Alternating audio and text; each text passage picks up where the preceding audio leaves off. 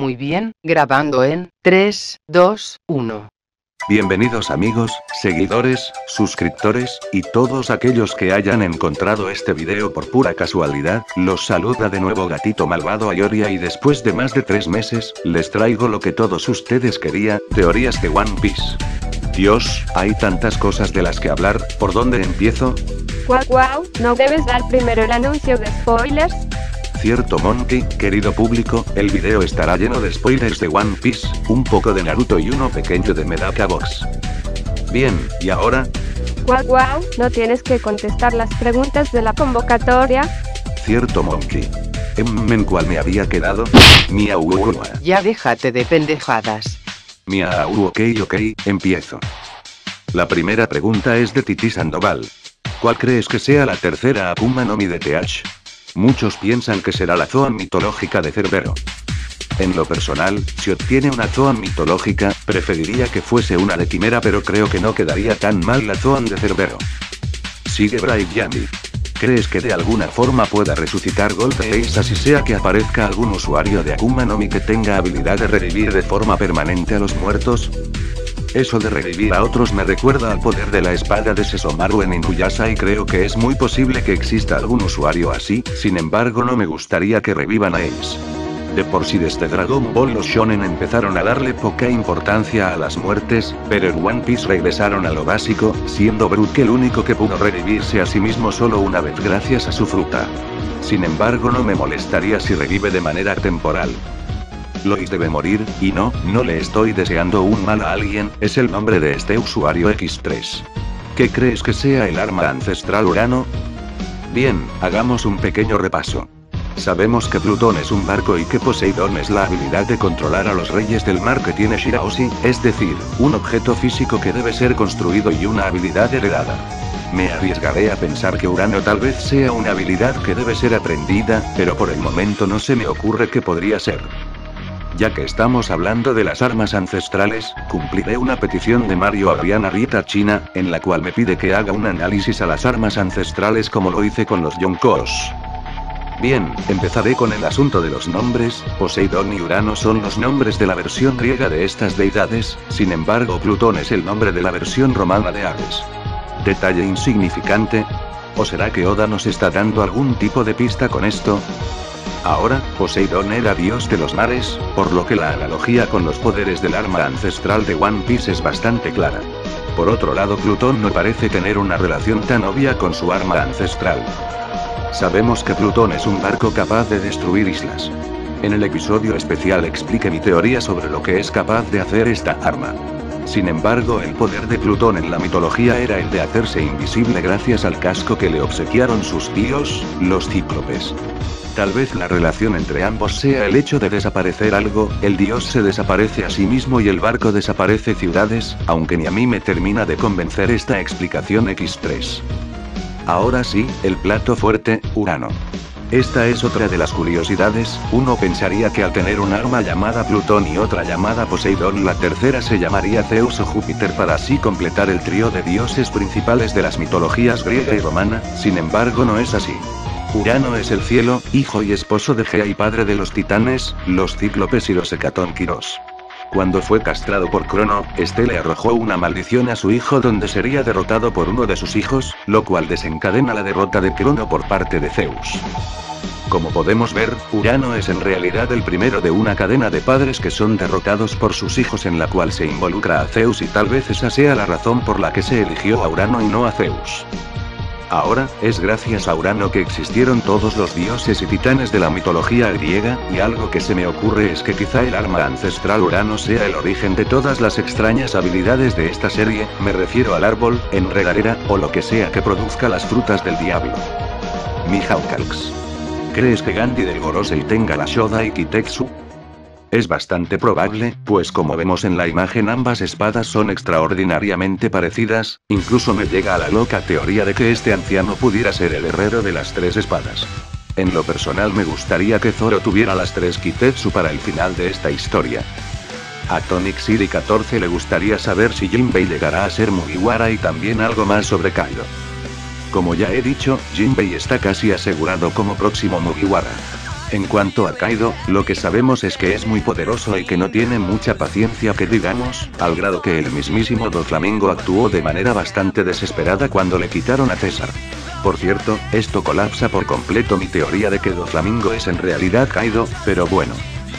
Por el momento no se me ocurre algo más que agregar en este asunto. Omar Guerrero.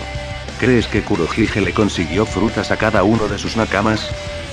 No creo que a todos, pero sí a la mayoría. La Fite no necesita pues él con seguridad ya tiene una. Por otro lado, no sé por qué, pero a Jesús Borges me lo imagino con una Zoan prehistórica, tal vez de Triceratops o de ese dinosaurio que parecía un armadillo gigante cuyo nombre no recuerdo X3. Sin embargo, tras su aparición en el capítulo 704, se me ocurre que le hayan quitado su poder a Uroge, pues la musculatura del campeón se ve mucho más exagerada de lo que Oda nos tiene acostumbrados. A otros que no me imagino con frutas son a Shirio y a Pizarro, el primero por ser el equivalente de Zoro, es decir, un gran espadachín que se le puede poner al tiro incluso a usuarios de logia, mientras que a Pizarro le veo más como un villano tecnológico debido a un poco de evidencia que veremos más adelante. Cod Rodríguez. ¿Cuál es tu personaje favorito? Creo que mi personaje favorito de One Piece era el Zoro de la primera parte. El Zoro actual, a pesar de que se sigue perdiendo, es mucho menos expresivo que en el pasado. De los actuales, creo que son Sandy y Franky los que me caen mejor. Payasox Blanco 10. ¿Por qué Chopper se asusta cuando le dicen que Barba Negra está robando habilidades? Por idiota mía jajajajaja. Ya en serio, Chopper se asusta porque como Barba Negra está robando habilidades, él es un blanco potencial por ser un usuario de Zoan, pero el mismo uso le aclara en ese momento que no cree que alguien quiera la fruta de humano. ¿Crees que aparezca un espadachín mejor que ojos de halcón? Como le había comentado a Matt el crítico, mi instinto de gato me dice que Gandhi del Golose y Shiryu serán espadachines de un nivel más alto que el ojos de halcón. Ahora va Kano Kano 22. ¿Quién crees que es el Yonko más fuerte actualmente? De manera individual, voy a arriesgarme y votaré por Kaido. Si contamos a su tripulación, tal vez Barba Negra pudiera ser el más fuerte. ¿Crees que cuando los Mugiwaras estén por llegar al final se enfrenten a la tripulación de Shanks? Si lo hacen, sería más como una prueba que como un enfrentamiento real. Como dije en el episodio especial, mi teoría es que la tripulación de Shanks se unirá a los Mugiwara para derrotar a Barba Negra. ¿Cuáles crees que sean las próximas recompensas de los Mugiwaras? Dudo que la recompensa de Luffy vaya a aumentar mucho, ya que se crearía un número demasiado ridículo, el límite que yo le veo es de 500 millones, mientras que la de Chopper seguirá sin aumentar pues cuando se transforma para pelear cambia demasiado como para que una persona normal lo reconozca. ¿Qué poderes crees que tengan Garp y Dragón? Garp duda mucho que consiga una fruta del diablo, no parece necesitarla. Mientras que con Dragon cada vez apoyo más la teoría de que tiene la fruta de dragón y esto le permite controlar el clima. ¿Crees que la banda se separe al final? No me sorprendería, pues tras la muerte de Roger su banda se separó. Bien, seguimos con Sterkes 98. ¿Crees que la batalla final sea de Teats contra los Mugiwaras? No, mi teoría es que el enfrentamiento final será contra los cinco ancianos, Akainu y el misterioso personaje que salió al final de la guerra. Ya no cuento a Doflamingo porque, debido a lo acontecido actualmente en el manga, parece que ya no será tan importante para el final como llegué a pensar. ¿Quién crees que pelee con quién? Tras el capítulo 704, existe la posibilidad de que los enfrentamientos se den estilo Saint Seiya, es decir, no llegará un punto en el que las dos tripulaciones completas se enfrenten, sino que, conforme vayan avanzando en el nuevo mundo, los Mugiwaras se enfrenten a un miembro de la tripulación de Barba Negra a la vez. Al final, creo que esto encajaría con la descripción de la división territorial de los Yonkous que Lau menciona en el 698. Independientemente de esto, creo que aún así los Mugiwaras y los Barbanegras se enfrentarán uno a uno. Debido a las circunstancias, tal vez Burgess se enfrente a Frankie. Además tenemos algunos bastante obvios, como Luffy contra TH, Usopp contra Van Auger, Chopper contra el Dr. Kun y Zoro contra Shiryu. A Brook lo veo enfrentándose a la Fite. Si no se da el Frankie vs Burgess, apostaré por el Frankie vs Pizarro. Ahora sí, la evidencia que prometí X3. Como bien lo recalca Grande Rezo en su vídeo 28 cuyo canal por ciento desapareció misteriosamente, hay algo de evidencia que apunta que Pizarro es el padre de Frankie, las pistas más obvias son su cabello azul y actitud escandalosa. Pero la evidencia más fuerte que muchos ven son los, aparentemente, brazos robotizados de este personaje, sabemos que Frankie es hijo de un pirata y que este lo abandonó en Battle 7, así que por este aspecto la teoría es bastante sólida, además de que es la razón de que no creo que tenga una fruta, pero Oda-sama siempre tendrá la última palabra X3. En cuanto al resto, no sabría contra quién ponerlos. ¿Crees que Luffy se case con alguien o los demás? Quién sabe, tal vez al final se le hace realidad su sueño a Hancock, pero por lo pronto no tengo teorías al respecto. ¿Crees que Abalo Pizarro sea el padre de Frankie? Eso ya lo respondí junto con otra de tus preguntas, mía jajajajaja, pero qué gatito tan eficiente soy X3. ¿Crees que los supernovas se conviertan en yonkos o shichibukais? Dudo que en yonkos, pero shichibukais sí, pues ya tenemos a Lau como uno de ellos. Hora de pasar con Sebastián Vidalón Manrique. ¿Cómo crees que acaba Pancazar? Creo que me tardé demasiado en contestar esta pregunta, mi. Y eso de hacerle un homenaje a Matt el crítico, lo siento, pero no estoy tan perturbado como para hacer algo así. Sasuke Magno. Cuando Luffy se encuentre con Kid surja una alianza o una batalla. Dudo mucho que surja una alianza así nada más, pero tal vez si luchen juntos contra la Yonkoro. Si recordamos Luffy le envió un cofre con explosivos sin saberlo, por lo que despertará la ira de la Yonkoro.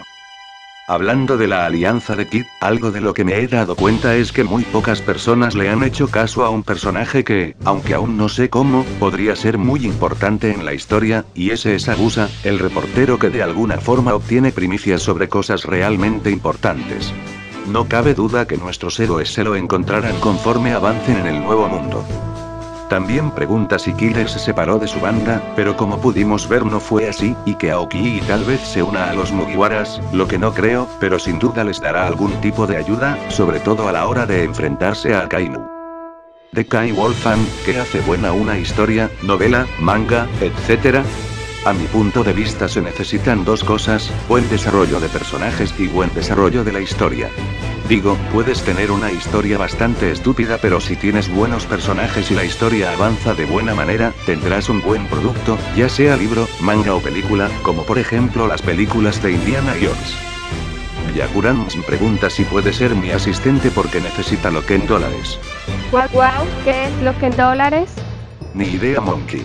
Si lo que quieres es dinero pues, búscalo en otro lado porque aquí no hay mucho, digo, mira nada más las condiciones en las que trabajamos, si no fuera por Yale esto ni siquiera funcionaría. Vaya, hasta que reconoces mi trabajo. Yo soy 301, que por cierto ya no es 301 mía jajajajaja. ¿Por qué 8 de cada 10 gatos prefieren whiskas?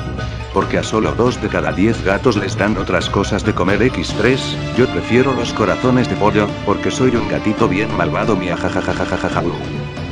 ¿Qué sorpresas nos tendrás preparando? No sé quién te tiene preparando sorpresas, pero no soy yo mía. Los que leyeron bien la pregunta entendieron el chiste. Miguel Rodríguez Chuco.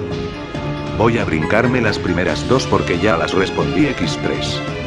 Sobre el sap, ya sabemos qué es, pero no sabemos cómo lo convierten en frutas del diablo. Tengo la teoría super locochona de que la fábrica de frutas artificiales no es un edificio, sino una persona, y esa sería, redoble de tambores chafa chararan chan chararan cham. Wapol, así es, él podría comer el sap y usar su alquímico estómago para convertirlo en fruta, pero como dije esta es solo una teoría locochona, ya que solo se basa en la habilidad de Wapol y no en el beneficio que podría tener este para crear estas frutas. La 4 ya se respondió, es Kaido. 5. ¿Qué nuevos ataques podrían tener todos? Solo se me ocurren tres power-ups y son para Zoro, el primero es bastante obvio y es el estilo de fuego de Kinemon, ya sea una habilidad que se pueda aprender o su espada de fuego. El segundo es algo un poco más elaborado. Si recordamos cuando Zoro recién aprende a escuchar la respiración de las cosas fue capaz de darle un sablazo a una palmera sin cortarla, y esto me lleva a la loquísima teoría de que tal vez Zoro aprenda a cortar solo lo que él quiere, o sea, que pueda dar ataques sin miedo de que estos puedan dañar a alguien o a algo que esté por ahí y que no sean su objetivo, aunque la verdad este Power Up lo imaginé originalmente para Shiryu, no me pregunten por qué porque ya no me acuerdo X3. ¿Se acuerdan que dije que habría un pequeño spoiler de Medaka Box? Wow, wow, sí me acuerdo. Pues es aquí en donde lo voy a desquitar X3. La última mejora que se me ocurre para Zoro es la capacidad de cortar el sonido, como lo hizo Munakata cuando cortó el vocal cañón de Kikaijima. Desgraciadamente, por el momento no se me ocurren nuevos poderes para el resto de la tripulación. Jesús Ramos Gómez tiene curiosidad por los tres puntos en los tambores de Enel. No tienen ningún significado en especial, o al menos no por el momento, tanto los tambores como el símbolo son iguales a los que tiene el dios del rayo de la mitología japonesa Raijin, tengo entendido que los usaba para crear el sonido de los truenos. Ahora Peter 2009 pide mi opinión de si Kakashi mata a Obito. Pues en lo personal me parecería bien que fuera en realidad Madara el que lo mate por ponerse tan altanero con él, pero no me molestaría que Kakashi sea el que le dé fin a este personaje. Vaya, al fin he terminado con los pendientes de la convocatoria, ahora un par de rápidas teorías sobre los acontecimientos actuales de One Piece. Primero creo que el gladiador que tiene una estatua en Desrosa quizá haya sido miembro de la tripulación de Roger, y, díganme que me dejo llevar por la situación pero, tal vez la gladiadora Rebecca pudiera llegar a ser la décima Mugiwara. El único escenario que se me ocurre para que esto suceda es que ella se coma la fruta mera mera de Ace, ya sea porque la gana, o porque le dé una mordida para evitar que este poder caiga en manos de malas personas, sé que no tiene muy buenos argumentos, por eso es una teoría rápida X3. Como siempre, doy gracias a los que tuvieron paciencia para esperarme y una disculpa para los que no la tuvieron X3.